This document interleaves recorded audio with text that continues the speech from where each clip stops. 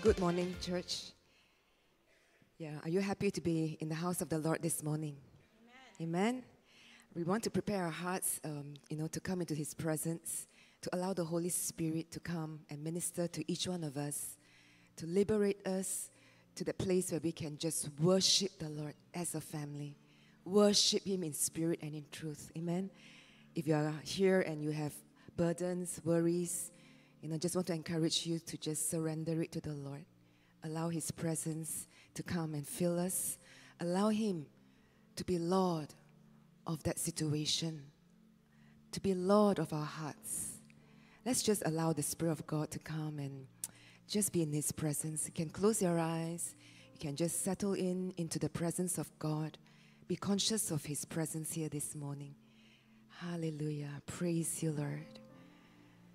Just allow the rest of the Lord, of the Spirit, to come over each one of us.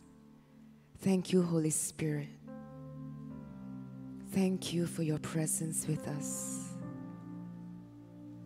Thank you that you will just cause our hearts to surrender, cause our hearts to be at rest.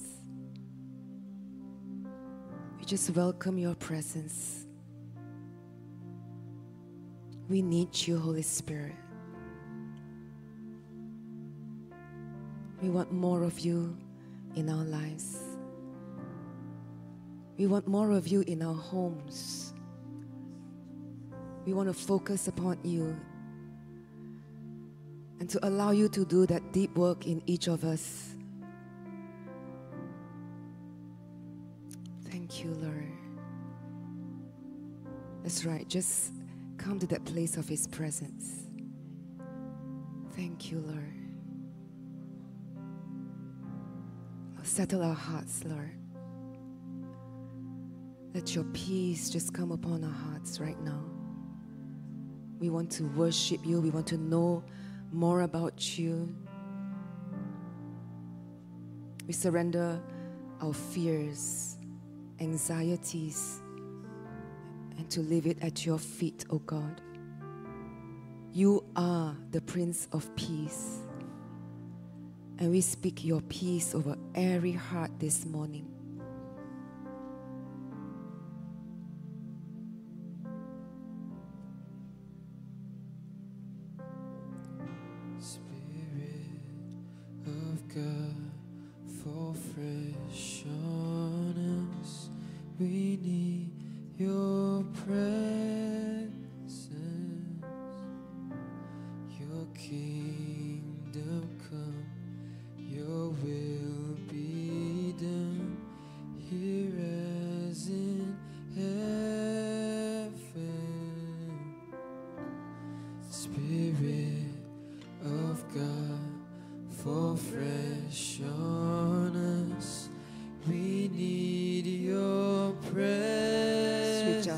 To the Lord.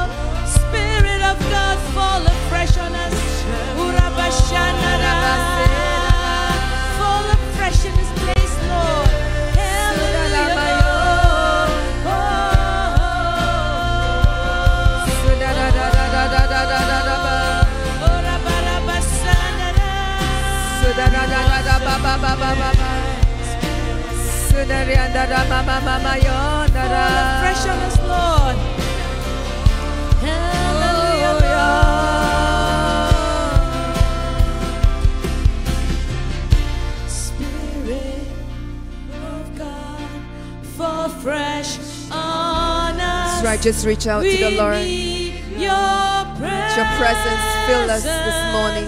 Whoa, your King, we declare, your kingdom come, your will be done, Lord. Here as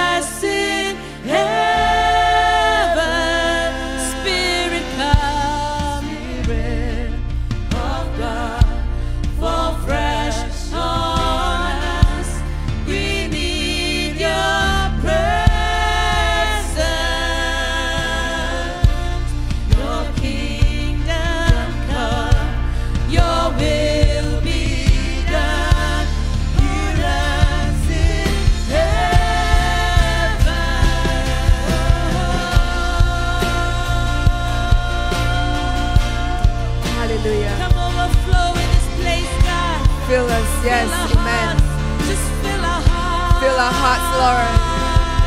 Fill our hearts, Lord. Just worship in the spirit this morning. Just worship the Lord. Andaramase. Sudaranamayo. Overflow, Lord. Come, Lord, and fill us with your presence this morning, Hallelujah. We want to declare a miracle this morning. Amen. We're going to declare the atmosphere is changing. We're going to activate our faith to believe God for miracles. As we sing this song, a miracle is happening now. I want you to reach out wherever you are and say, God, I need this miracle. Yes, I need this miracle for my family. I need this miracle for my loved one. I need this miracle for myself. Let's sing that, that uh, chorus and we're just going to ask the Lord to bring about a breakthrough this morning. A miracle is happening now.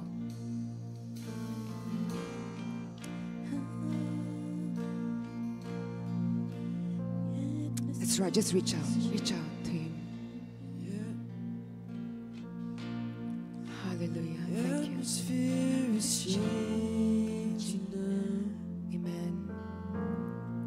For the Spirit of the Lord is Just close your eyes. Declare that over your situation. Evidence is all around. The Spirit of the Lord is here. A miracle. A miracle can happen now. That's right. Thank you, Lord. For the Spirit of the Lord is here. Just reach out to Him. Is all around. Hallelujah. And the Spirit of the Let's declare a miracle. A miracle is going to happen. Amen. A miracle can happen. Switch out. Just believe. Hallelujah. Thank you, Lord. The Spirit of the Lord is here. The evidence is all Spirit of the Lord is here. Overflow, overflow in this place. Fill our hearts with your love.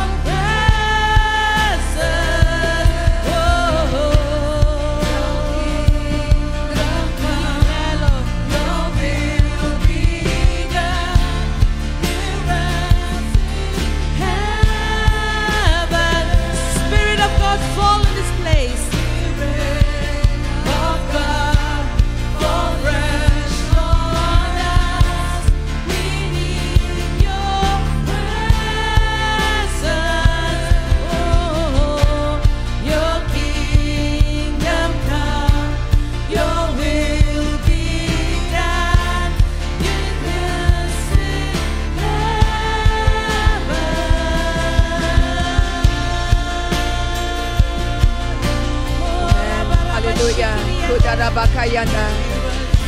Sodara bakayanda rabasada rabakayanda rabasada rabakayanda. You're here with us, Lord.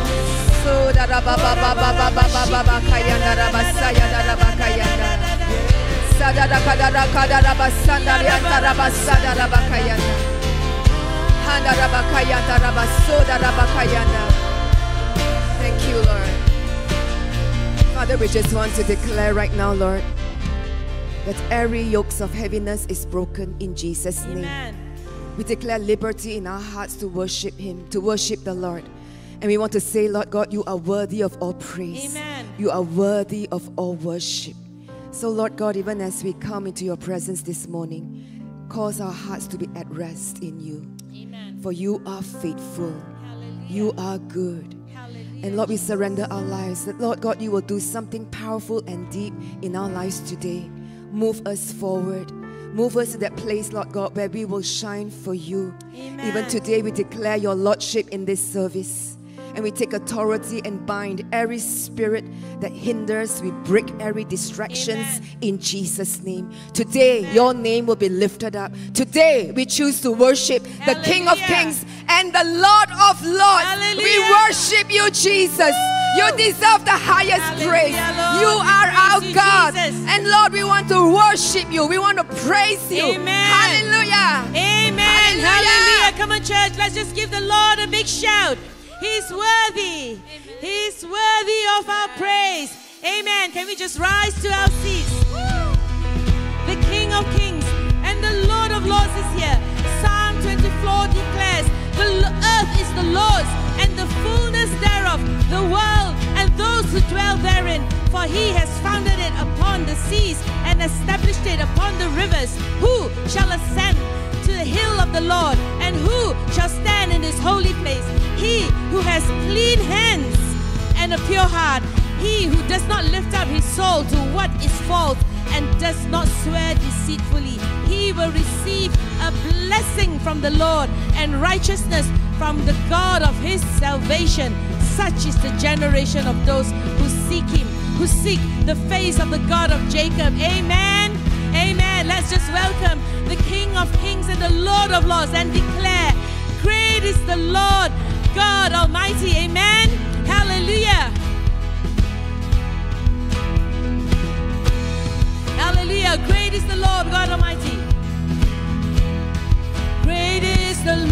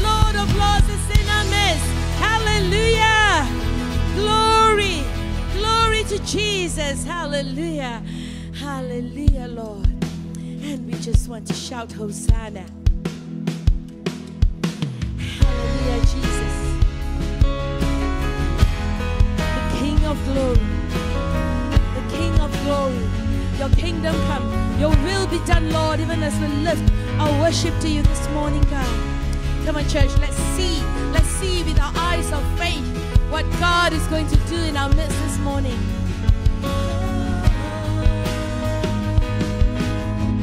I see the King of glory coming on the clouds with fire. The whole earth shakes, the whole earth shakes. love and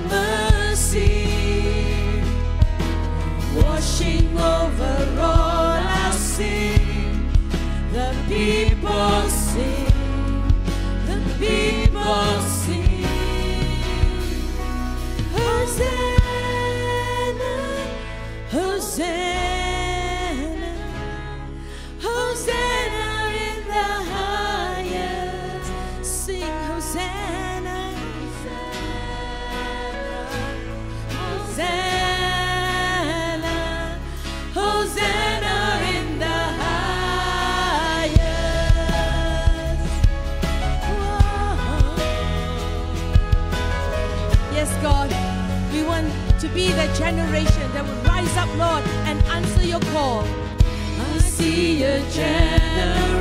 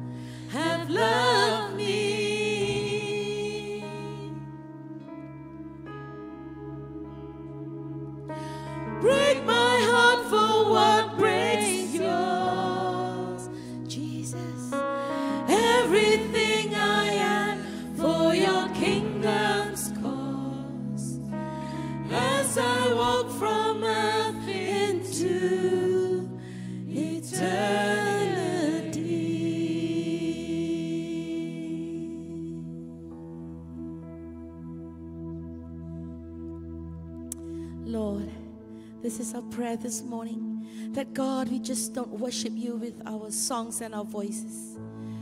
Hallelujah, Jesus. But that God, we would give you our hearts, all of it, Lord, that you would use it for your kingdom's cause.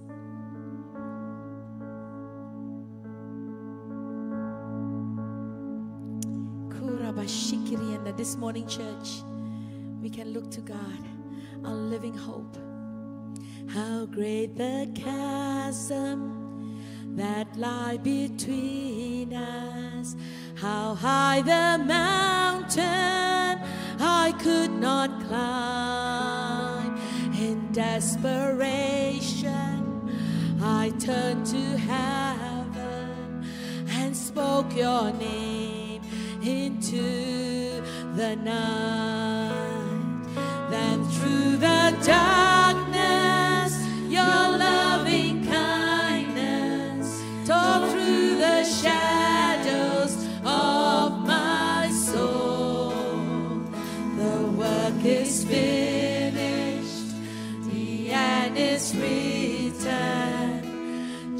Jesus Christ, my living hope. Who could imagine? Who could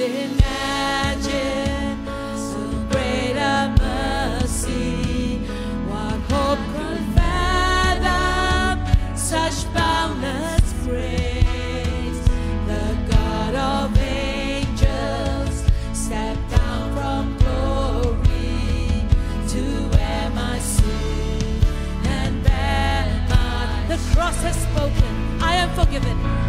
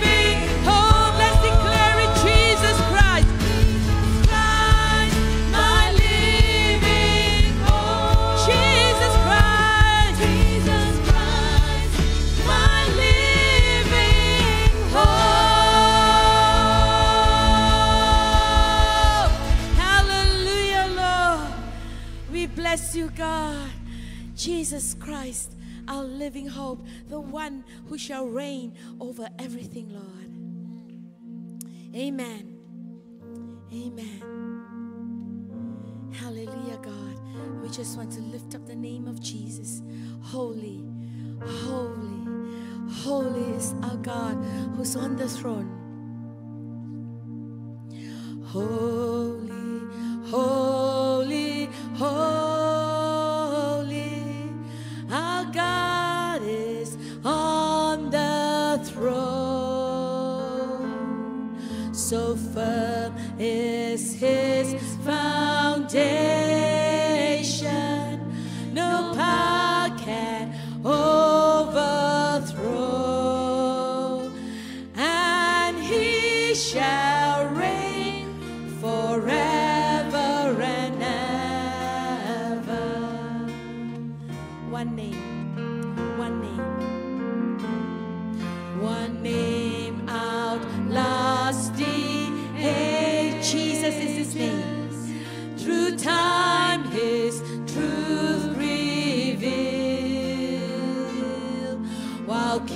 may pass like shadows,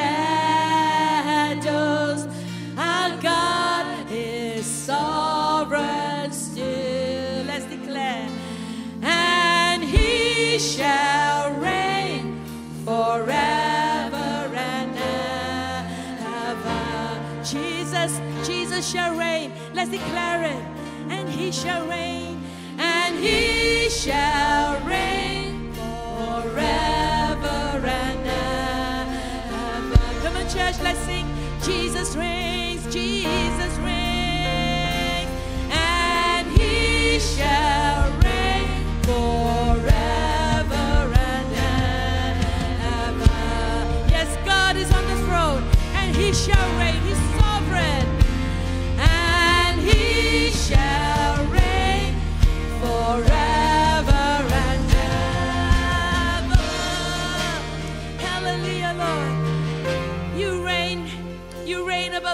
troubles. You reign over all our sicknesses. Lord, hallelujah. You reign, God, over all our lives, oh Father God. And we come to you and we look to the Lamb that is upon the throne and we sing hallelujah, hallelujah. The Lamb that is risen, He's upon the throne. Hallelujah, Jesus,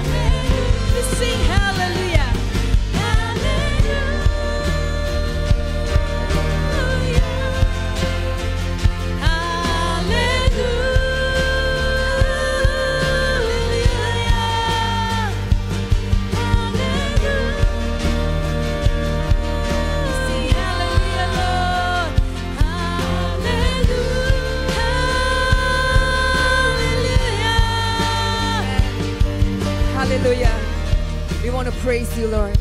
We thank you that you are seated on the throne. You are the King of kings and the Lord of lords. Amen. Truly, no one can compare with you.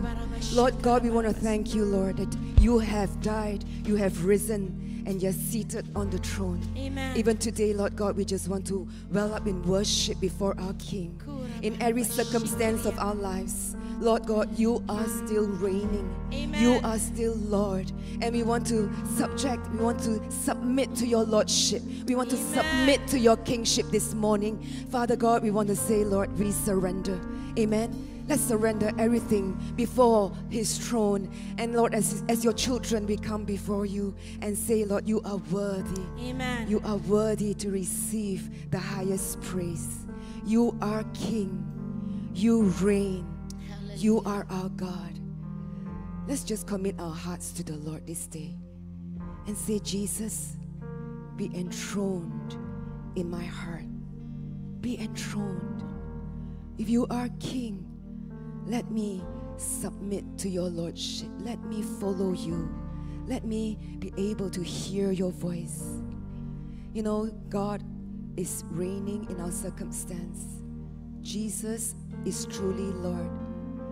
And we are able to rest in our King because He looks after us, He looks upon us.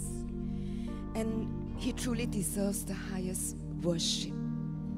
Psalm 99 says, The Lord reigns, let the nations tremble. He sits enthroned between the cherubim, let the earth shake. Great is the Lord in Zion. He is exalted over all the nations. Let them praise your great and awesome name. He is holy. Exalt the Lord our God and worship him at his footstool, for he is holy. We want to sing again and just worship the Lord and worship him from our hearts. Amen. Let him be enthroned over our church and over our nation. Hallelujah. To the Lamb. Hallelujah. Let's just worship the Lord. Lift up our hands to him.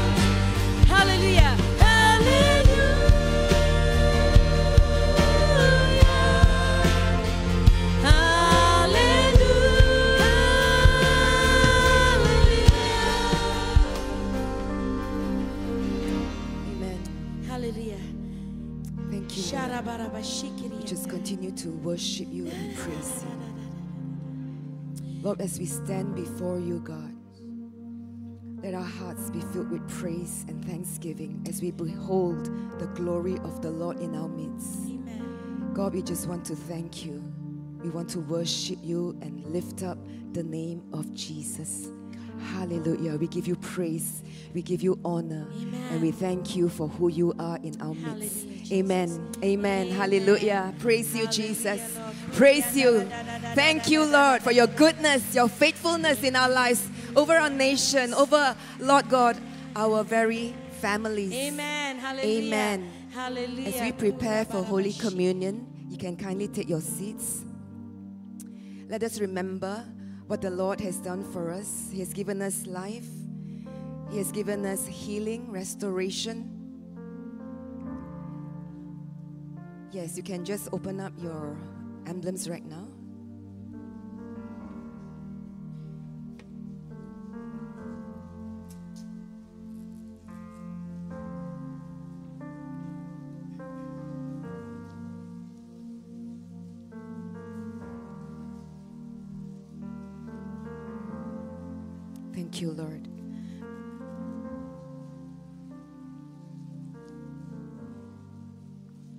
From Mark 8, verses 34 to 38. Whoever wants to be my disciple must deny themselves and take up their cross and follow me. For whoever wants to save their life will lose it. But whoever loses their life for me and for the gospel will save it. Good is it for someone to gain the whole world, yet forfeit their soul? Or what can anyone give in exchange for their soul? If anyone is ashamed of me and my words in this adulterous and sinful generation, the Son of Man will be ashamed of them when he comes in his Father's glory with the holy angels. Lord, as we take Holy Communion as a family, we want to thank you that you have called us to be your disciples. You have called us to carry on, carrying the cross, and to follow after you. Forgive us for the times we may have failed you, for the times we have sinned against you by our disobedience, God. We come before you with reverential fear that you're coming for us, your disciples. You're coming for us who are willing to take up the cross and follow after you. So we thank you, God. Thank you, Jesus, for your patience for us, your love for us, God. We give you thanks that you continue the, the work in our lives. In Mark 14, verse 22 says, Jesus took bread, and when he had given thanks, he broke it and gave it to his disciples, saying, Take it, this is my body. Let us take the bread together.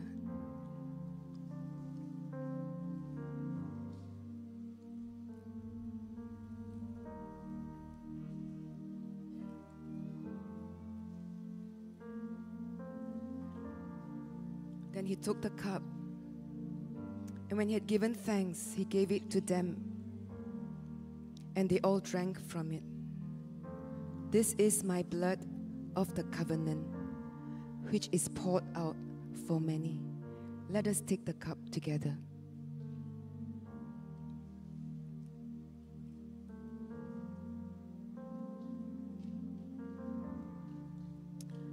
Hallelujah. Thank you, Lord. We want to thank the Lord that when He died on the cross, He also gave us not only salvation, but a life of victory and healing. For those of us who are in need today, we want to stand with you, whether it's a family situation, a financial situation, or physical healing, or you are standing in proxy for your loved ones. Could you kindly rise to your feet? We want to uphold you and stand together with you, even those online. Just raise up your hands, and your family members can lay hands on you. We want to look to the Lord for a, His healing touch upon your lives, for strengthening. Hallelujah. Thank you, Lord. Thank you, Jesus. Lord, together we just want to say, Lord, you are enthroned in each of our lives, and we want to uphold, Lord God, our brothers and sisters, Lord, even as they're going through this difficult situation. May you touch them right now. May you lift them up. May they know that you are for them, that you are with them, oh God. Lord, may your healing flow in Jesus' name. May healing come forth in their hearts, in their wounds, over their minds, that, Lord, peace shall come upon their minds. Lord God, you are the Prince of Peace. We take every thought captive in obedience to you this morning. And we say, Lord God, be lifted up, be enthroned in our circumstance, be enthroned in that place of weariness, of tiredness, of sickness. Be enthroned because you are God who heals. So we declare right now be healed, be healed in Jesus' name, be restored in the name of Jesus. And you're a God who provides. May you provide for each and everyone. Open doors of opportunity. Lord, you will continue to provide for them, Lord. We thank you because you are faithful and you love each and every one of them. Lord God, may your touch, your healing touch be upon each one and those at home in Jesus' mighty name. Amen. Amen. We will now have our congregational prayer. We are praying for the nation's Royal Malaysia Police. The believers in the police force came together to pray in FGA on the 5th of April in conjunction with the annual Police Day. Let us together uphold the police force as they serve our nation faithfully. I'll read from Proverbs 21:15. When justice is done, it brings joy to the righteous, but terror to evildoers. Let us pray. O God, our Heavenly Father, we pray for our nation's Royal Malaysia Police. Help them to discharge their duties well and effectively uphold law and order in the face of many challenges. Enable them to maintain the values of justice, truth, integrity, and professionalism. Sustain those who have faithfully served the public and this nation in an exemplary manner. Preserve as well your children who serve within the ranks of the Royal Malaysia Police. Anoint and empower them with your discernment and protection. May they know the reality of your presence as they carry out their responsibilities with due diligence. This we pray in Jesus' name. Amen. Amen. Let's thank God for the police force and continue to uphold them. Amen. This morning, we will continue our worship through our giving. We can um, scan the QR code on the screen or do online transfers or write a check to Full Gospel Assembly, Berhad. Lord Jesus, we want to thank you for your blessings in each of our lives. We want to sow back into your kingdom so that your work will be enlarged, that people's lives will be blessed. Thank you, Lord, for blessing us with this provision, God. Thank you for your enabling grace and your help. Bless the work of our hands. In Jesus' name we pray. Amen. Amen. Hallelujah. Okay, we want to welcome all of you to the service and those who are online, a very warm welcome. Those of you who are new to our church, first time or second time to FGA, could you kindly rise to your feet? We want to especially welcome you. All right, could you wave or stand to your feet? Yes, thank you for standing. Hallelujah. Thank you for coming. All right. So um, we will give you an invitation card. Continue to stand. Yeah, just continue to stand. You can scan the QR code and leave some information with us. And kindly join us at the hospitality lounge after the service. There's a special welcome back for you, and we would like to have fellowship with you. All right? Okay, for those online, please uh, press the subscribe button so that you will also get um, the latest of what is happening in our church. So, welcome to FGA. Right now, we want to um, welcome our speaker. We are so blessed to have uh, Pastor Derek Hong to share the word with us this morning. Pastor Do- uh, Derek is with, uh, is with his wife. Um, Pastor Su- uh, Sister Sulan, could you kindly rise to your feet?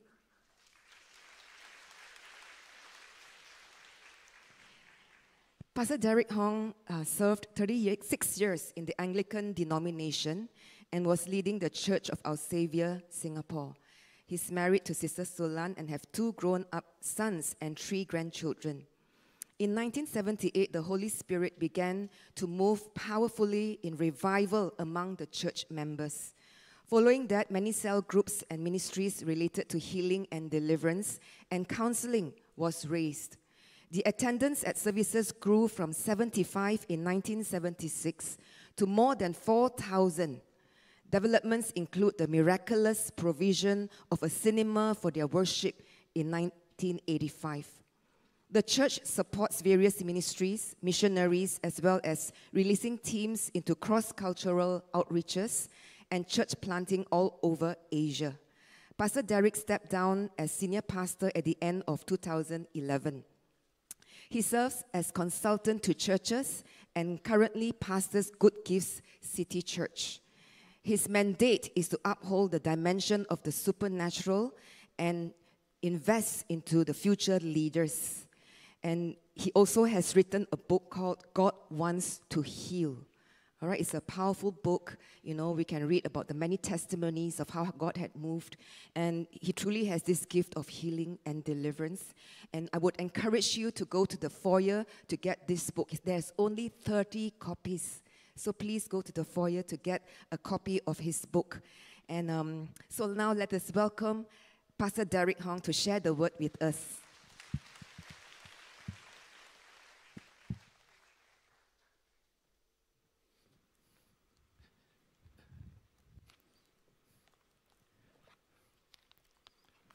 Thank you, elders and uh, pastors of Full Gospel Assembly. It's such a great joy to be back. Uh, many of you will not know that my first visit was actually about 40 years ago.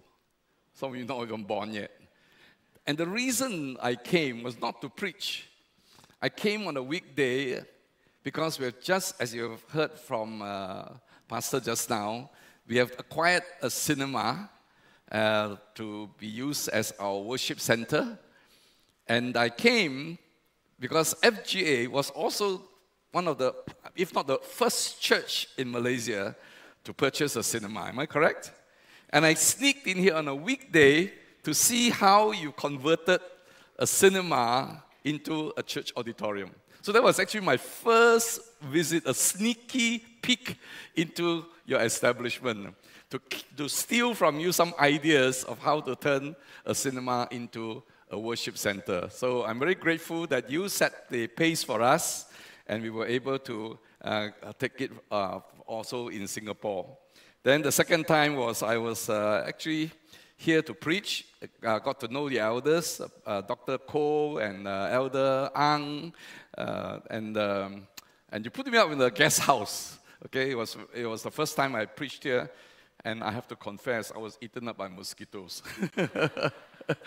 but, okay, nobody knew about that. But today, you know, then the second time I came, I was put into uh, Brother Ang Chui Cheng and uh, Sister Siu Ling, uh, Siu, Siu Chen's magnificent mansion. You know, so from from almost like a mosquito-infested little room, I was put into a palace. All right. And today, my wife and I are so privileged. We had the royal welcome this time we are here. So I'm truly grateful and really excited to be back in FGA.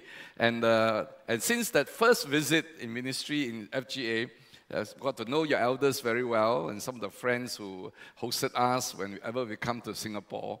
And actually, Dr. Ko was very, very kind and gracious. And, and he said, FGA has a standing invitation for you to come. You know, anytime uh, you, when KL come and preach and, and, and so on and so forth. And I had many, many opportunities to be in your wonderful church. So today, I'm really uh, thrilled to be back here again and grateful to have the opportunity to share with you the Word of God. I hope, uh, I'm not asking for more work, but I do enjoy being in KL, all the wonderful food, right? Although people are trying to compare Singapore and, and, and, and KL now. Uh, but you know, like, the grass is greener always, right? Across the fence. So we love to come to KL for your black noodles and uh, all, the, all the nice food that we, we, we, we actually get stuffed with, all right, to be honest. As you can tell, right? It's already happening. So thank you once again for the privilege of being here. I, have been uh, uh, asked by your elders to share something uh, quite significant, I guess, in, in, this, in your congregation. But let's begin by getting into the Word of God. We're going to read together from 1 Timothy chapter 1, verses 1 to 11. Every time you see scripture on the screen, it'd be great to speak it aloud. You know, the word of God is meant to be spoken aloud. Actually, we have been trained to do things in a very quiet way. But actually, the Hebrew mind, okay, which has given us the scriptures, the Hebrew Hebraic worldview is that we everything is to be expressed, okay, expressed clearly expressed exuberantly, with, and, and when you're worshiping, is that to be done with gusto from your heart, from your spirit, and with your lips. Let's read from verse, uh, 1 Timothy chapter uh, 1, verse 1 to 11. Let's, let me hear you together. Shall we go? Paul, an apostle of Jesus Christ, by the commandment of God our Savior and the Lord Jesus Christ, our hope. To Timothy, a true son in the faith grace, mercy, and peace from God our Father and Jesus Christ our Lord. As I urged you when I went into Macedonia, remain in Ephesus, that you may charge some that they teach no other doctrine, nor give heed to fables and endless genealogies, which causes disputes rather than godly edification, which is in faith. Now, the purpose of the commandment is love from a pure heart, from a good conscience, and from sincere faith, from which some, having strayed, have turned aside to idle talk, desiring to be teachers of the law, understanding neither what they say nor the things which they affirm. But we know that the law is good if one uses it lawfully. Knowing this, that the law is made is not made for a righteous person, but for the lawless and insubordinate, for the ungodly and for sinners, for the unholy and profane, for murderers of fathers and murderers of mothers, for manslayers, for fornicators, for sodomites, for kidnappers, for liars, for perjurers, and if there is any other thing that is contrary to sound doctrine, according to the glorious gospel of the blessed God, which was committed to my trust. So, once again, thank you for the privilege of being here. Your elders have, uh, I was informed in the communication uh, that you, you are going to do a series uh, from the book of First Timothy. Am I correct? I guess that has already been publicized. And, uh, and I've been assigned the job of starting a series on sermons dealing with the issue of uh, false teaching. And as you can see from the scripture we read together, false doctrine, false teaching has been around since the earliest days of the church. There have been heresies, there have been deviations, there have been distortions right from the beginning of Christianity. In the first century of the church, in the early church, many new churches were being formed. Church planting, the church was growing exponentially. And established churches were learning to form communities, create community, and bring order. Please bear this in mind. All the first Christians in the early church, especially from the Gentile world, the non Jewish world, came out of very pagan and lawless practices. Okay, uh, if, you, if you do some of the reading of, uh, do some reading of the early uh, cultures in which the church was uh, involved in, uh, in some ways not different from what it is today, but much more blatant. Okay, uh, sexual practices of all kinds, speciality, you know, temple prostitution. Uh, they were all over the place. And, and uh, the list of all of them that was read out earlier by, uh, in, our, in our reading just now.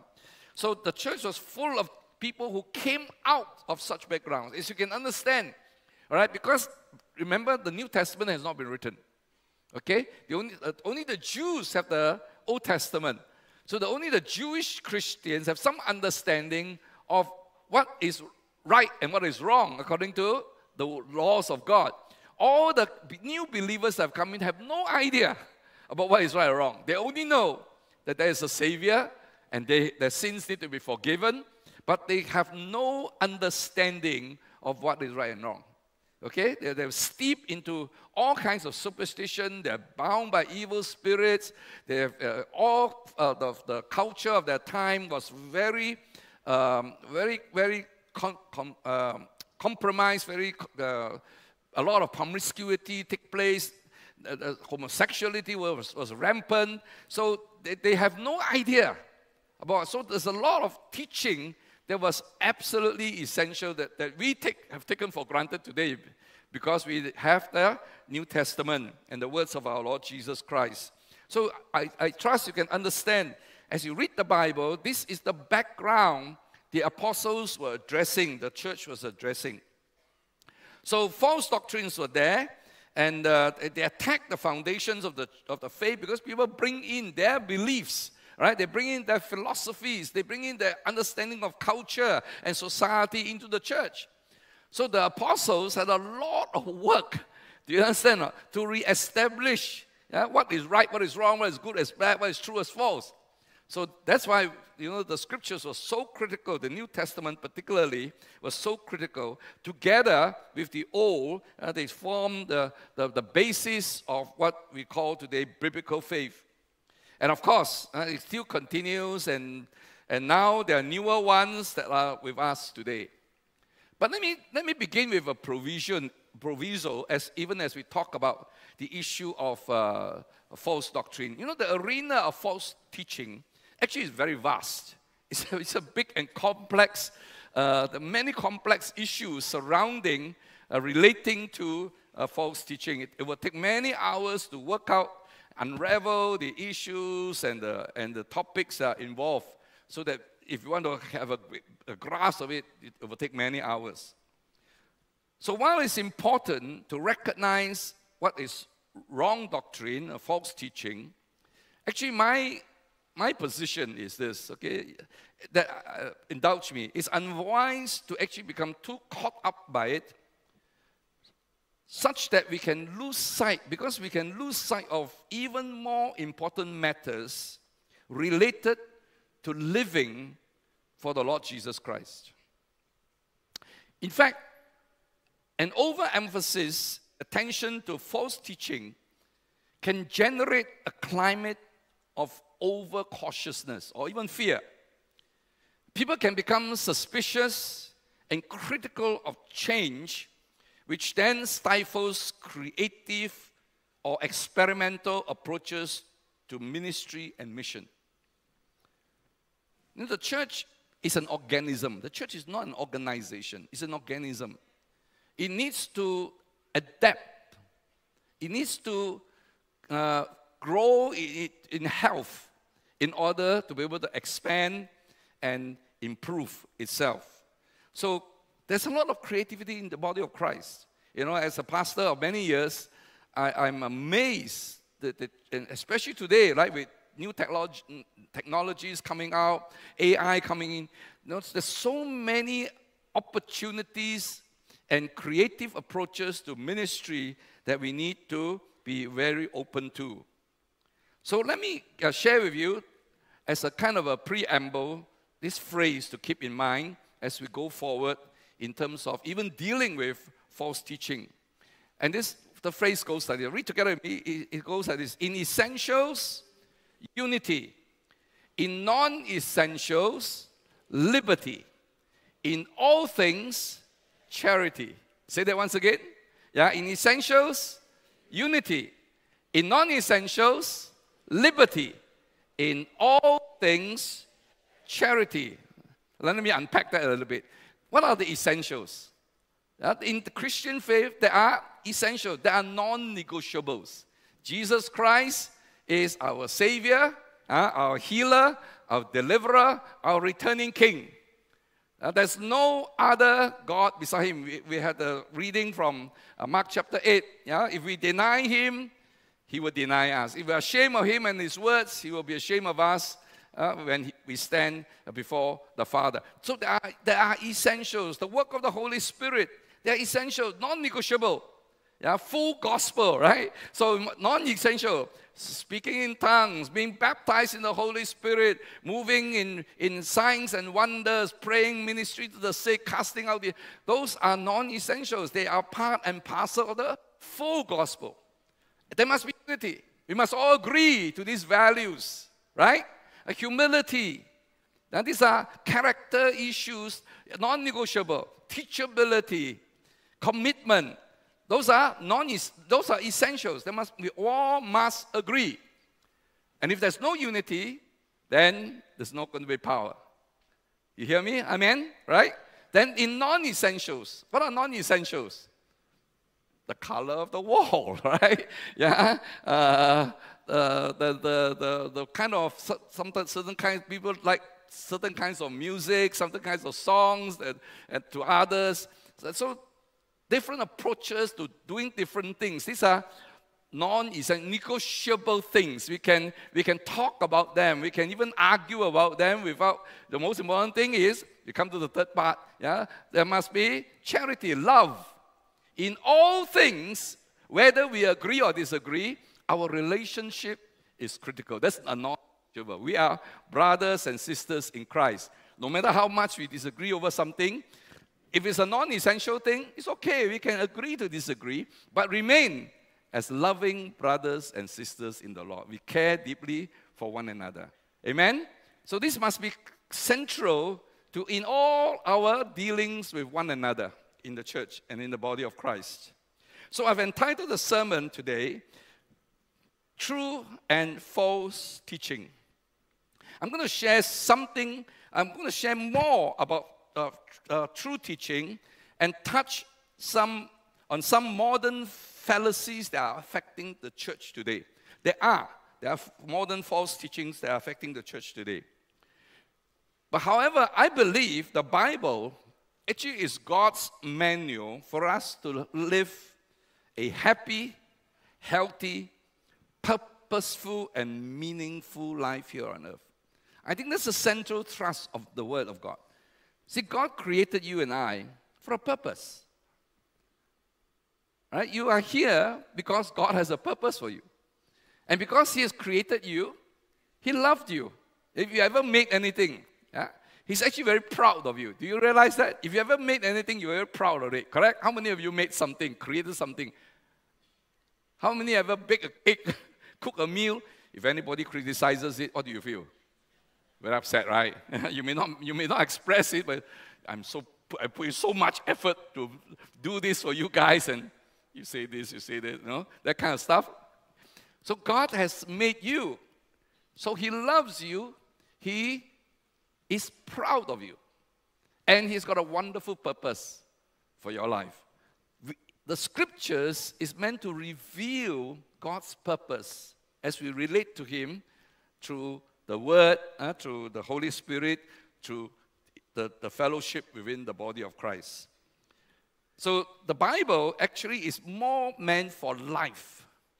Okay, not so much in terms of religious teaching. It's not a religious book, it's a book for life, for successful living. And we have to have our assignments on earth to be done.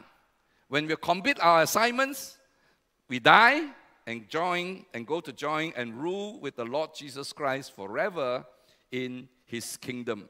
So it's all about emphasis and balance.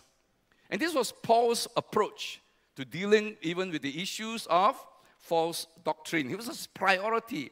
You notice he instructed Timothy, the pastor of a very significant church in the city of Ephesus. And he charged them to command people to teach no other doctrine.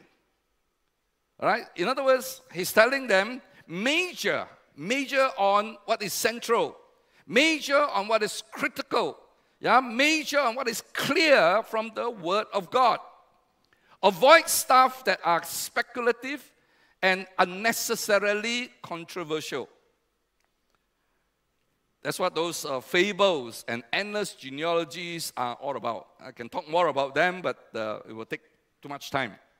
So, Paul, the apostle, began his instructions about dealing with false teaching with a clear statement on what is true teaching, what is true doctrine. I'm going to share with you the marks of true teaching. There are three marks to true teaching, and it can be found on one verse in 1 Timothy chapter 1, verse 5. Read with me.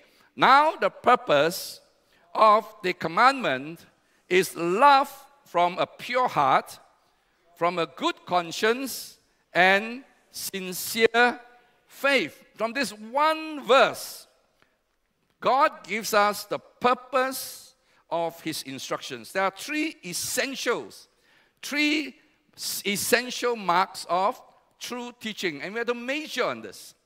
The first is love from a pure heart. I mentioned that earlier. The the ancient uh, English word charity, which is love. So, what is central to the Christian faith and life? Four letters L O V E, right? Love. Everything starts and ends with love. Romans chapter 5, verse 8 God showed Come on, let me hear you. God showed his great love for us by sending Christ to die for us while we were still sinners. It started with love. While we were still sinners. He didn't wait for us to improve ourselves. You know, there's this belief God helps those who help themselves. There may be a little germ of truth there, but primarily, God initiates everything. He sends His love to you and to me. Wow, we were in darkness. Wow, we didn't even know Him. Uh, while we were struggling. So today, where you are, yeah, online, on site, if you are going through a difficult time, God showed his love for you by sending Christ to you. Right now, open your heart to him. Then Luke chapter 10, verse 27. He answered and said, Jesus answered and said, You shall love the Lord your God with all your heart, with all your soul, with all your strength, with all your mind, and your neighbor as yourself. This is central. This is fundamental. God loves us first, and we are learned to love Him and other people in return. It's all about love. We must measure on that. And by the way, love is a verb. Love is not a feeling. yeah, we often see, you know, a lot of the understanding of Christian virtues uh, actually is determined by more by Hollywood than, than the, uh, and, and Bollywood sometimes also, right? Uh, it's, it's, it's not biblical. Because Hollywood tells us love is a emotion, it's feeling. While it includes that, but actually love is a verb. It's something that we do. It's desiring and doing the best for others. So, how do I know I'm loving someone? When I desire the best for this person. Yeah? And I'm doing my best for this person. That's love. It's not talk, it's action. So, it's love from a pure heart. But the trouble is our heart. okay, our heart has a problem. Not that you have a physical heart problem. There may be some of you here who need that healing today. Okay, but actually, God sees the heart from another perspective. In Jeremiah chapter 17, verse 9, the heart is deceitful above all things and desperately wicked. Who can know it? In the Bible, the heart is the center, the center of all spiritual activity and operations of human life. The heart is not just a physical, it's not a physical organ in biblical uh, perspective. Uh, it is related to everything that drives us, in other words. It's a center of spiritual activity, the operations of human life. But in the natural, God says it's terribly wicked and contaminates our character. Salvation begins with a heart that is cleansed and changed by the power of the blood of Jesus Christ. Nothing, nothing else can change the human heart except the blood of Jesus, except the power of the Lord Jesus Christ. So we must begin by understanding not just false doctrine coming from outside, we must understand false doctrine that's inside us. Because inside all of us, we have something that's desperately wicked, highly deceitful, so much so that we deceive ourselves more than other people. We believe in lies, we believe in the wrong things, we believe in stuff that has been propagated over us through sometimes even through the formal educational systems. In Singapore, right? Very driven. Suicides are very high among young people because they are under pressure to perform all the time. So the lies, the, the heart is wicked, it contaminates. So to be able to love from a pure heart, we must come humbly before God regularly to confess our sinful desires our selfish motives and hidden agendas in all our relationships and dealings with others.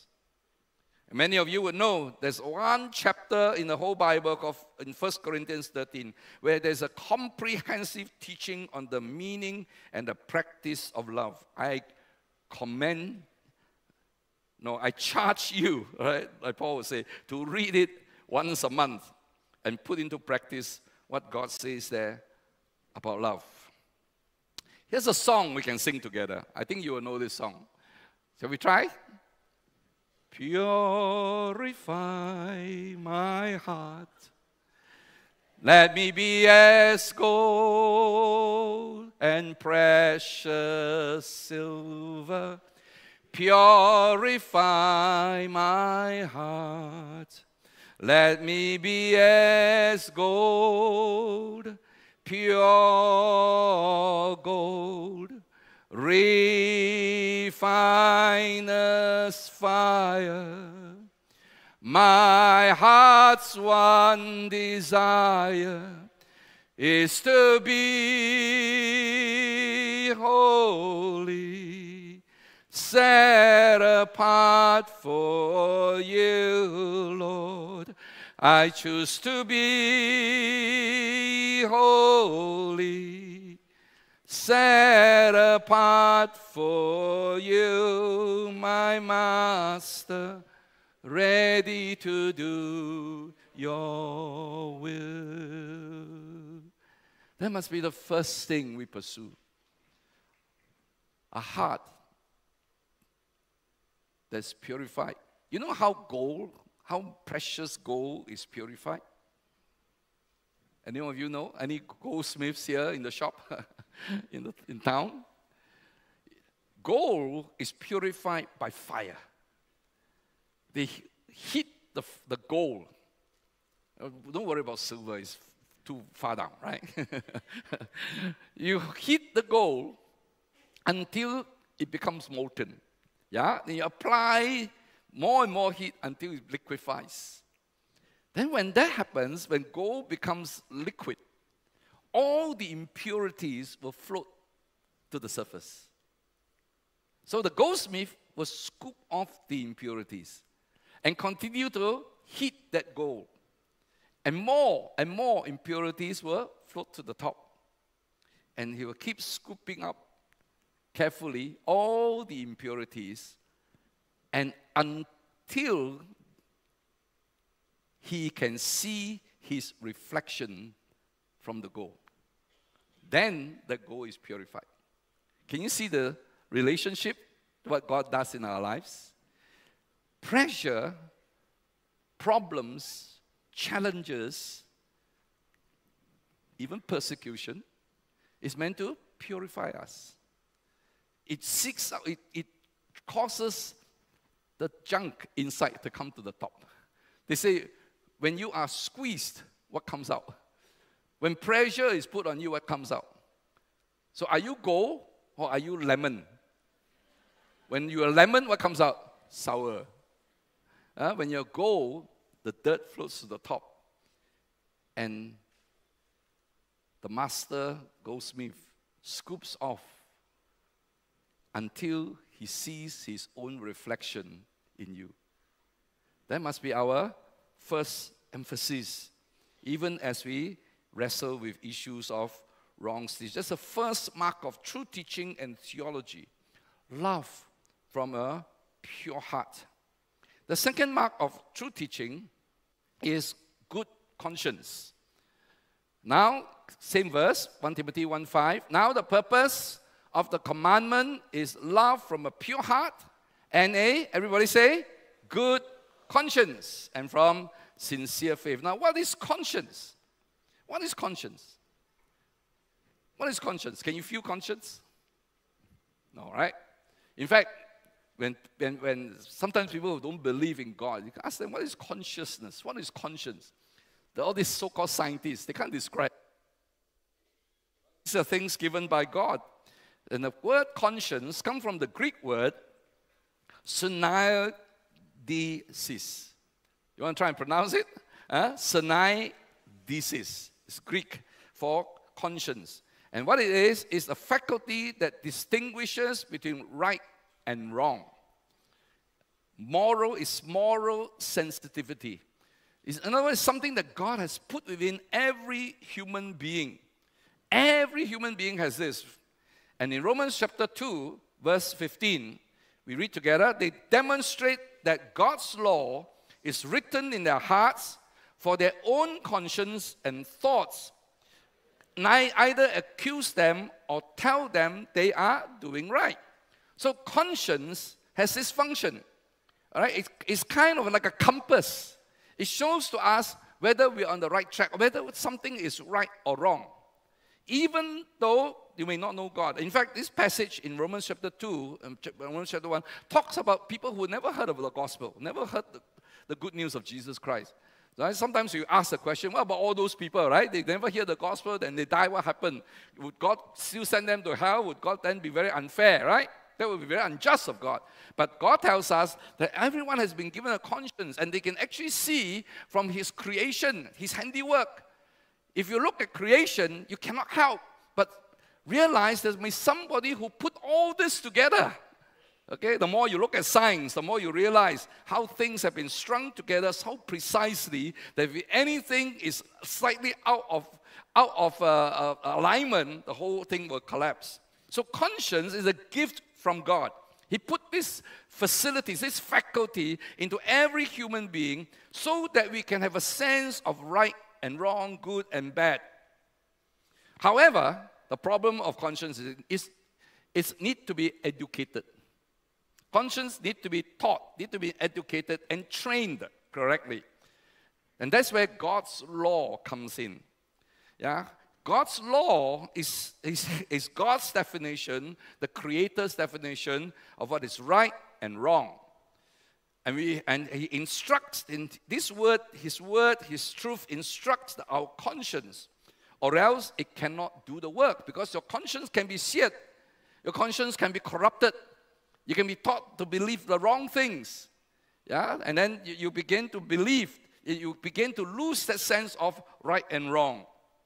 In John chapter 8, verse uh, 3 to 9, with this powerful illustration of what the conscience, an educated conscience can do. Right? Read together with me. John 8, 3 to 9.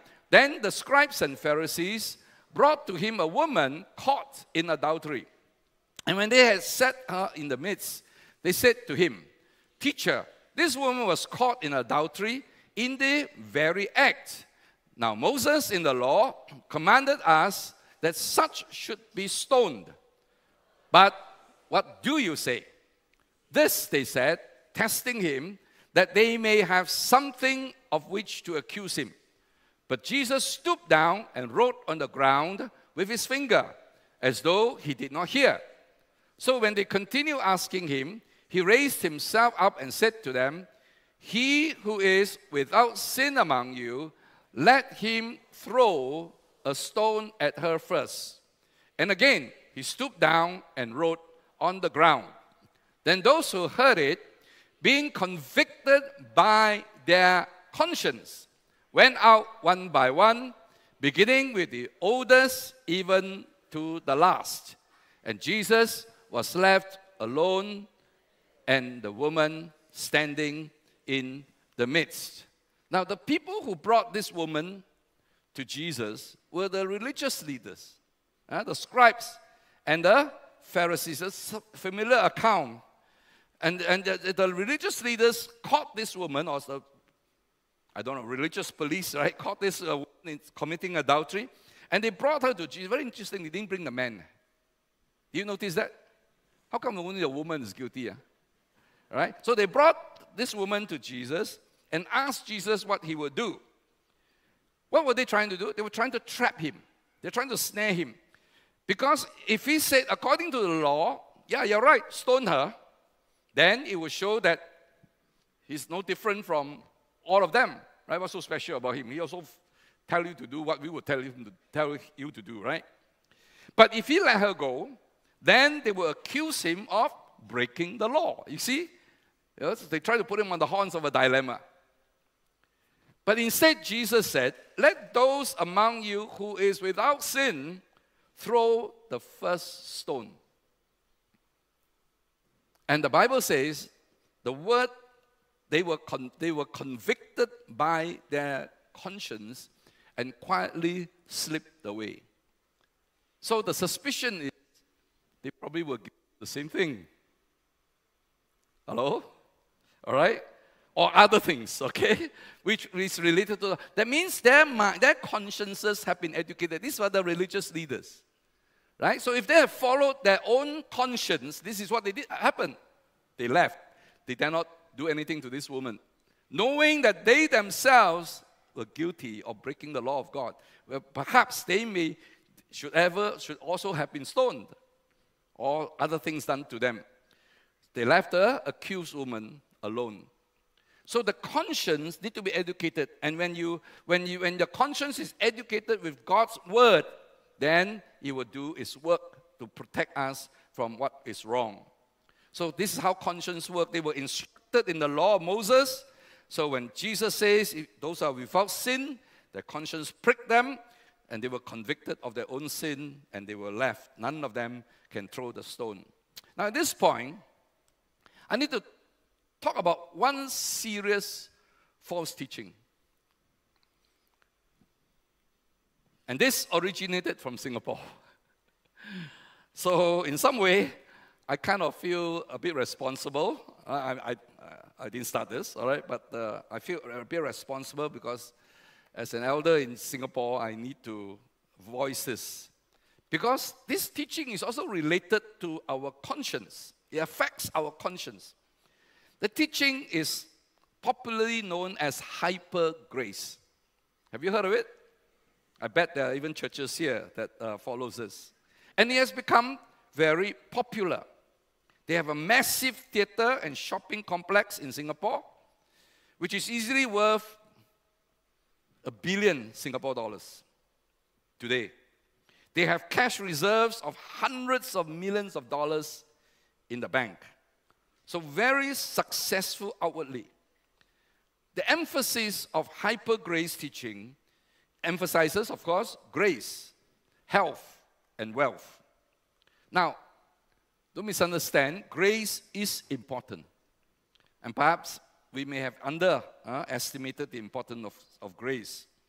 But the emphasis of one truth, almost to the exclusion of all other truths, leads to distortion.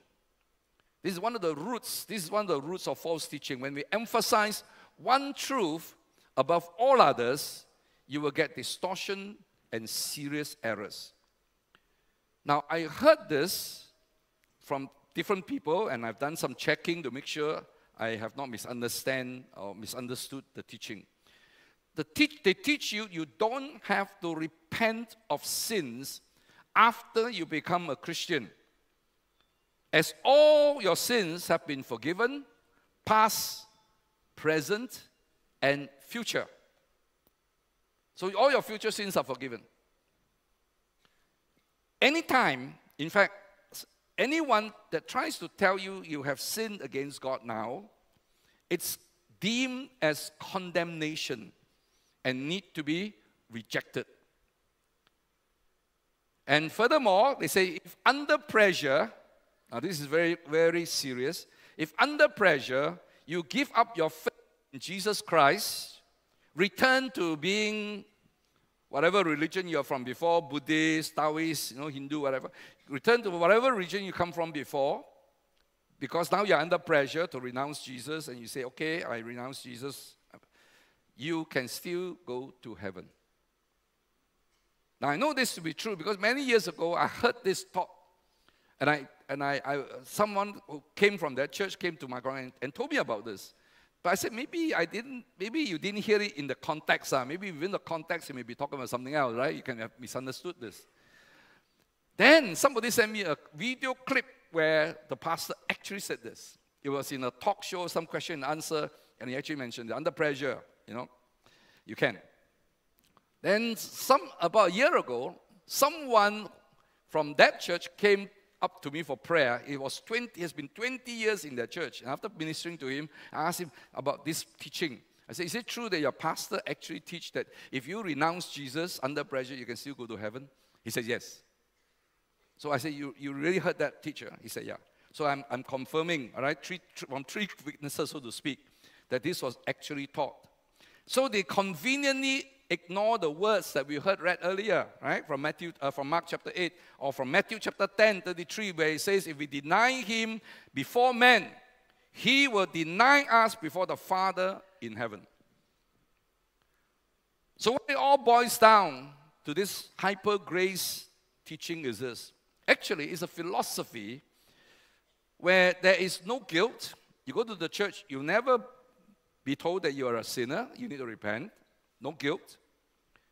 No repentance. No commitment. No sacrifice. I call that easy believism. And that's why it's so popular. And many people don't realize that the practice of repentance is very important for the health of our conscience. See, when we confess to failure and sin once in a while, our conscience becomes trained, becomes sensitive to what is right and wrong. When we reject or neglect doing that, our conscience become dull because it's not exercised. We become dull and we become deceived and become prideful. The line between right and wrong, good and bad, true and false becomes blurred. In fact, a pastor friend who ran a family counseling center shared this with me one time. He said, A woman from this church came to his center to seek help about her marriage. She said that her husband was thinks that he's unfaithful. And in the course of counseling, a long story short, she began to disclose that even though her husband was being unfaithful, she too was starting a relationship with another man. Friend, the pastor said to her, even though your husband is unfaithful, you cannot do the same. It's wrong. Immediately, this woman stood up, pointed her finger at my pastor friend, and said, You are condemning me, and stormed out of the center. The worst thing that just came out from this church, and it prompted me to write a piece on my Facebook page. On September the 7th, 2023, they hosted the largest drag show, the largest drag show on earth. It's called RuPaul. See, true teaching produces a good conscience. You're sensitive to what is right and wrong, or bad, true or false. First, in yourself. So it, it creates a humility, a teachability that we all need. And to be able then, from that, to be able to speak out at the right time. False teaching corrupts your moral compass. You lose your sense of right and wrong.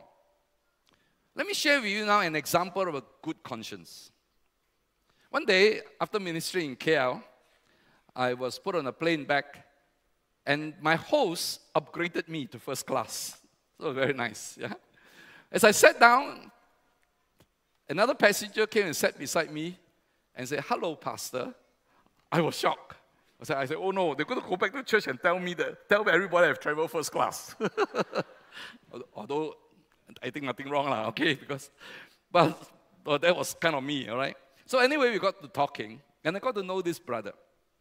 And he was a, the country manager in Singapore of one of the largest financial institutions. And we became good friends. Yeah? He would say, actually, I'm in your church but I didn't know him at all, right? So we, over the plane, we got acquainted, we got to know each other. And uh, we, then we have several sessions where he shared with me, began to share with me some of the struggles he faced, being the, uh, uh the, the, the, the, Chinese, okay, in a, in a, in a environment in Singapore, a Malaysian in, in Singapore. And uh, soon after that, a couple of years later, the, the financial crisis hit the world. And he said that the, the directors of this institution, this financial institution, uh, called him up. He came back to KL, and he was given very clear directions. You know what? You know what corporations tend to do. Those of you in the marketplace would, would, would can tell me whether I'm right or wrong. He said that the board called him together and said that, okay, this, we are hitting a financial crisis uh, because it's going to affect our bottom line. I want you to cut staff by 20 percent in Singapore.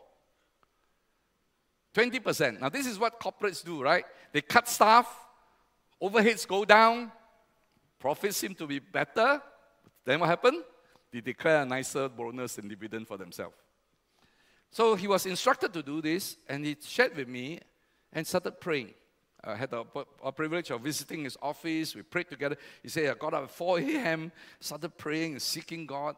What should I do?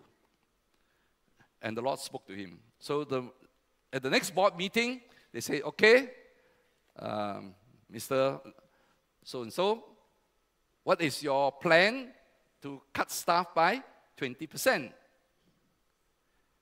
He turned to the chairman and said, I'm sorry, sir, I cannot do it. Now, you know what corporations are right, right? Right? If you can't do it, we just find someone else who would. Right? Yes or no? Is that how the world works? Yeah? All the, all the corporate people can tell me, not your heads.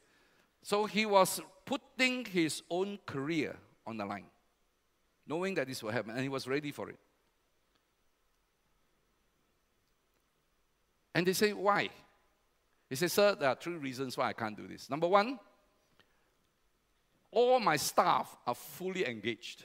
I can't spare. All right, they're all completely, fully engaged in their professional work. Number two, this division in Singapore is making the most profits internationally. Of all the, all the branches, we are the best producers. We're putting in a good ROI for the institution, for the investors. And said, number three, these people have families, they have children to feed. Then he waited for the axe to fall. The chairman turned to him and said, You are right. And he kept his job. And the bank continued to prosper under his leadership. But can you imagine when word of this leaked out to the staff? Here is a Christian who risked his career for me.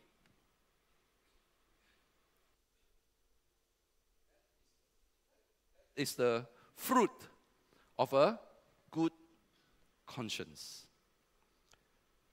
So that's the power of conscience. When you are, your conscience is trained by the Word of God, you stand for truth. You stand for justice. You stand even though you may risk losing everything. The third mark true teaching 1 Timothy chapter 1, verse 5. Now the purpose of the commandment is love from a pure heart, a good conscience, and sincere faith. Sincere. What is sincere? I hope you understand what faith is. We'll take another sermon, to, uh, two, three sermons to preach about faith. But what is what is what does it mean to be sincere? All right, sincere comes again from another Greek word. Okay, you may want to I, I know a little Greek lah, okay? He runs a cafe down the street where I live, okay? Yeah. And is, can you pronounce this with me? Anupokritos. Okay? Anupokritos. And you get this phrase there, kritos, hypocrite. uh, hypocrite. so, sincere means to be unfeigned, genuine, without hypocrisy. The word sincere also has Latin roots. And it comes from two Latin words, uh, sine, which is without, and cera, which is actually wax. Isn't that interesting?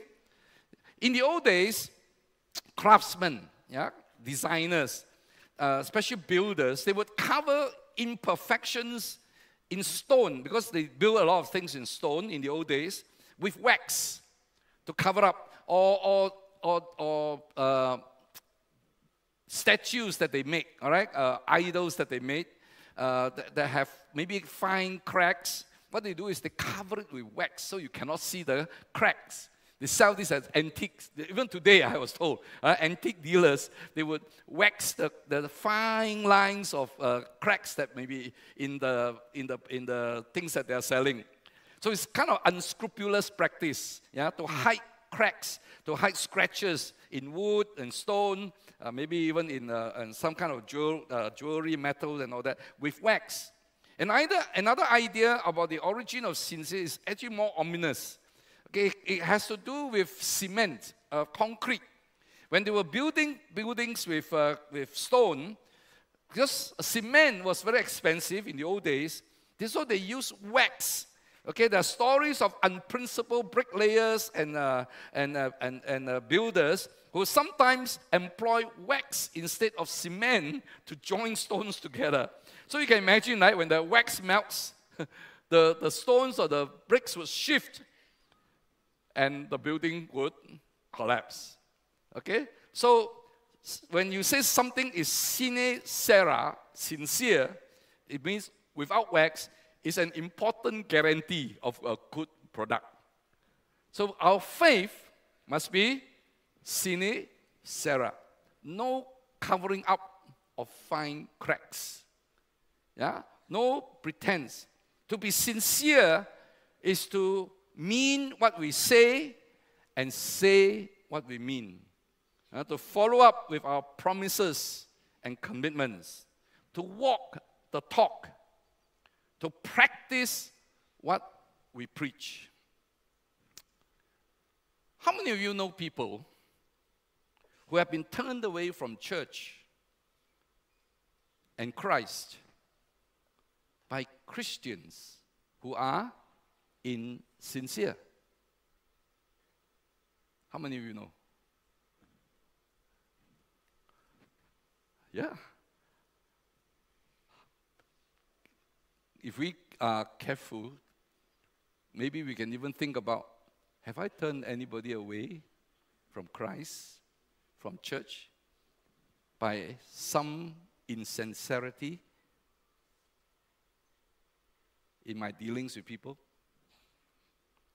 You know, we can be very religious in church. We can lift our hands, praise, and worship the Lord. Nothing wrong with that. But what counts is what are we like when we're back in our homes, when we're back in our places of work, when we are in the marketplace. Many Christians cover up their faults and insecurities with religious talk. Some of them are under the delusion that they are special in God's eyes. In verse 6 of 1 Timothy chapter uh, 1, Paul says that there are people who want to be known as teachers of the law. They want to be recognized. And that's a craving for human recognition and status. In fact, one of the roots of false teaching comes out of this need, this craving to be known as somebody special but their preaching and their behavior doesn't match up. I want you to welcome uh, two other persons who are with me today my, my own young, my younger sister Doris and uh, my, our goddaughter uh, Pamela. Maybe the two of you can just stand because I'm going to tell a story about Pamela's sister. Okay? Pamela has a younger sister, and uh, she was invited uh, together to a certain church in Singapore. Okay, I'm only talking about churches in Singapore. Huh?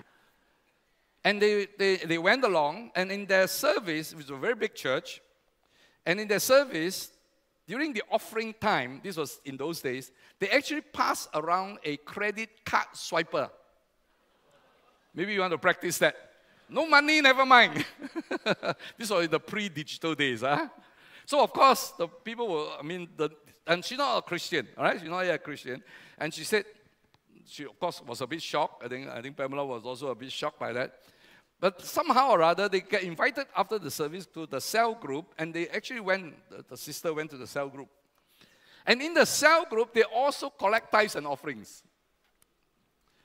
And they, and they, and they not only collect tithes, they actually get people to fill up a, a form, a little piece of paper, how much they're going to give to the church. Right? Even though this is not a Christian, she's asked to fill this up. Now, for some reason, she went along. I guess the pressure was there, right? Everyone was doing. So she wrote a number and passed it back to the group leader. And the group leader, everybody had then to disclose what they give, what they're offering to the church. And so Pamela's sister showed uh, the, the leader took out Pamela's phone, and actually she go through every, this leader, leader go through everyone and says, what do you do as a, uh, uh, in your work? And she said, I'm an air stewardess. And the leader turned to her and said, if you're an air stewardess, you should be earning more than this, right? From that day onwards, Pamela's sister never stepped into another church again.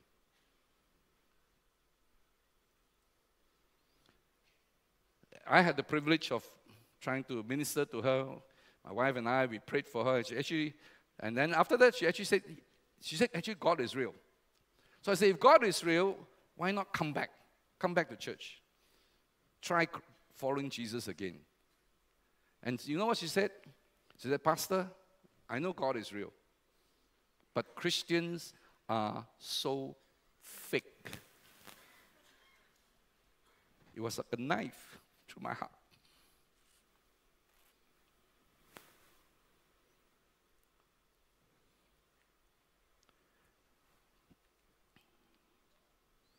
Sincere faith. May I tell you how I like to be known and remembered? You know, I've been given some titles by certain people. They're flattering, they're humbling. But this is how I see myself an ordinary guy, just an ordinary guy, loved and used by Almighty God to do extraordinary things. Let's apply this. And let me close now. So, the three essentials love from a pure heart. Yeah? Secondly, secondly, good conscience. Three, sincere faith. We must major in this. But let me close. Before I became a pastor, one of my jobs, I had a few jobs before I became a pastor, was working in a bank. In the old days of banking, most transactions involve the handling of money, right? Unlike today. And staff has to deal with a lot of hard cash over the counter, yeah, over tables and all that. And many of us have to be trained to be able to distinguish between genuine currency and counterfeit money, especially the United States dollar. Uh, they, they don't, they don't uh, counterfeit rupiah, okay?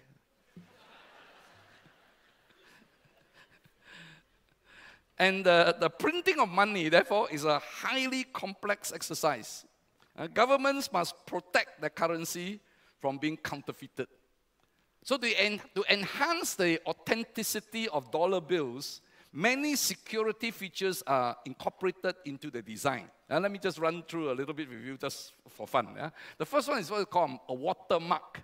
Yeah? Watermarks are images, patterns embedded into paper. In the process, they are visible, how to vi- ultraviolet light, help to verify the authenticity. Then there's security threads, yeah? Uh, watermarks, security threads. At the same time, I just run through them. Then color shifting ink. You know?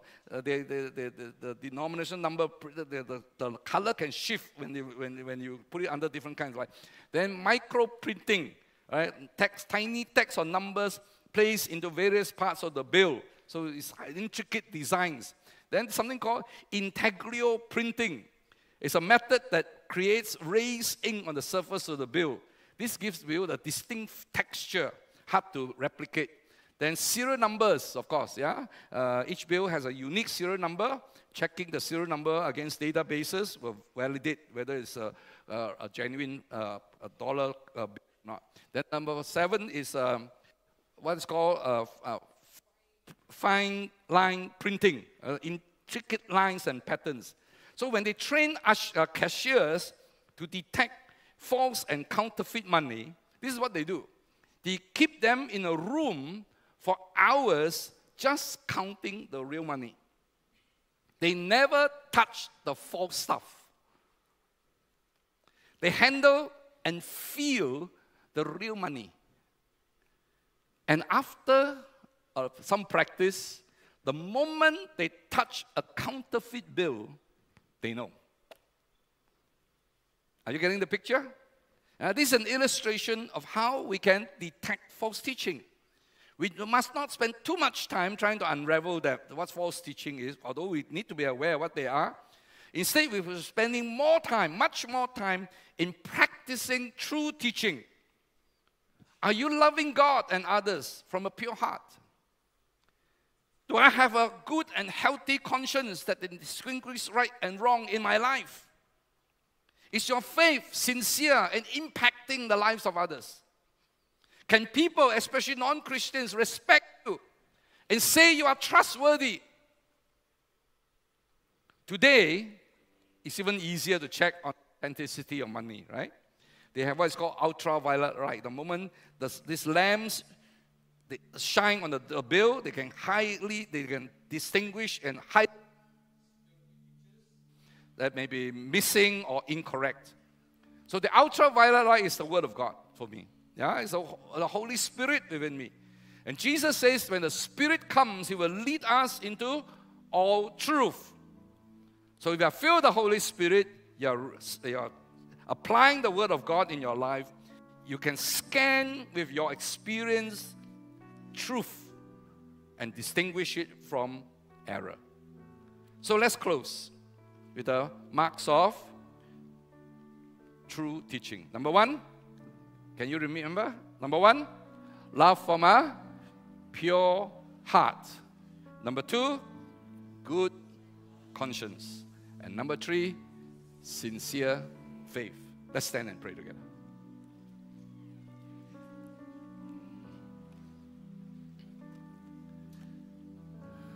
Let's open our hearts to the Lord. I trust that the searchlight of the Word of God, this ultra highly sensitive light, as it shines into our hearts, is revealing cracks, the fine lines of character deficiency and fault. And together, let's come before the Lord. You know, this phrase, Christians are so fake, never left me. It bugs me. I don't know about you. It just troubles me. God, have mercy on us. To be called fake such an indictment.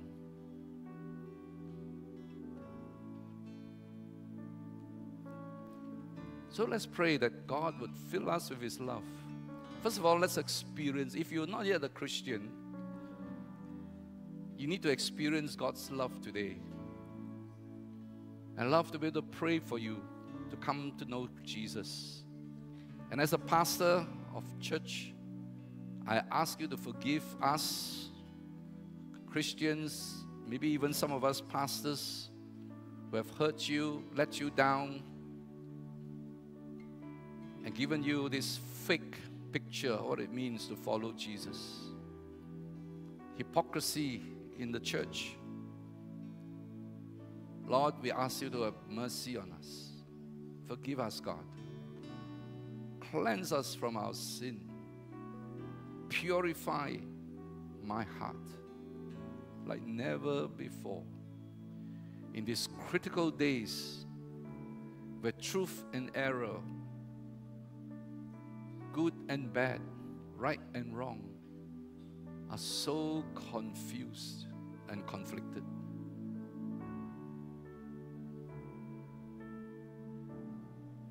Holy Spirit, let the fruit of humility be prominent in our lives. Thank you, Jesus. So, if you do not know Jesus and you want to give your heart and your life to Jesus today, can, I, can you put up your hand? I want to pray for you. Is there anyone here who would like to give his life to Jesus? Just put your hand up quickly. I want to pray with you. This is the most important thing you can ever do.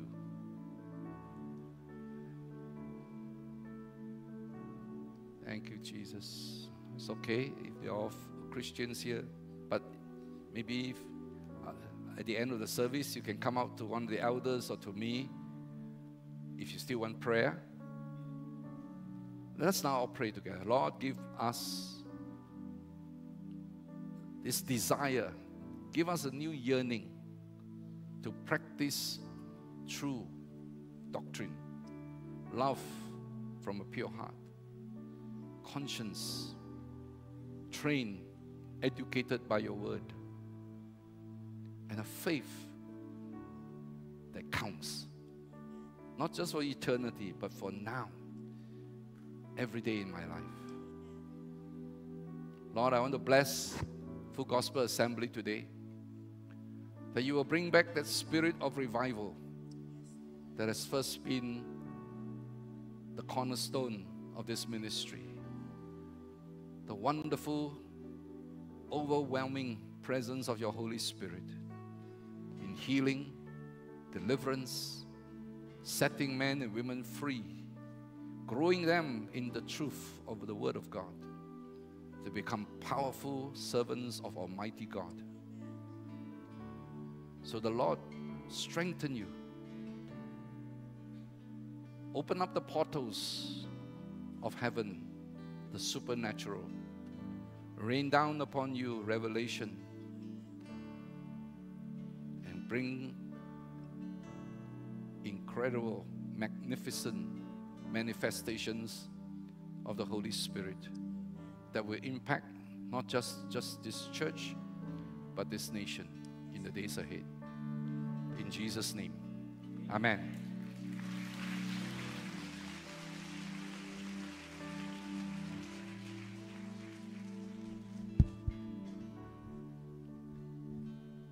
Before we close, I think we all know the song Refiner's Fire.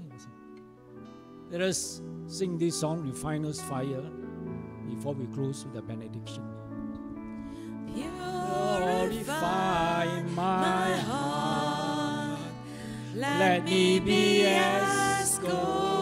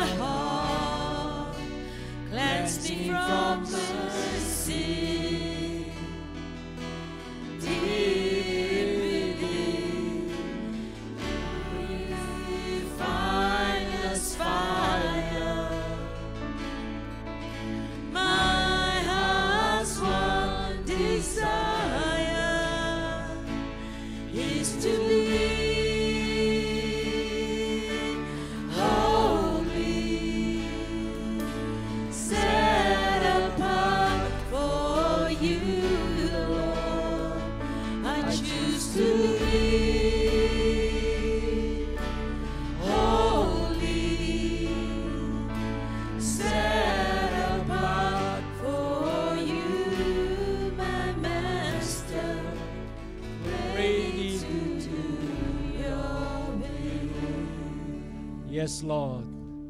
God, we thank you. Thank you for thy word, Father, that, Lord, is so clear unto each and every one of us, Father. That God, we should not be caught up, Father, Lord, in overindulging between, Father, true and false teaching, that we get led astray, Father. Lord, for the essentials, Father, let us come together in unity, Father. In the non essential, Father, let there be liberty, Father.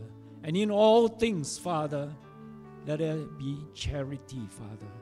And Lord, refine us, Father, that God bring us, that Lord, we have a pure heart to love, a good conscience, Father, Lord, to do thy will, Father.